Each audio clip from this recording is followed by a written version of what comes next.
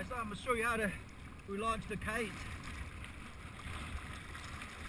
It's very easy, really. Just pull on one side, let drag a little bit, and slowly let it go. And that's it. That's how you relaunch the kite.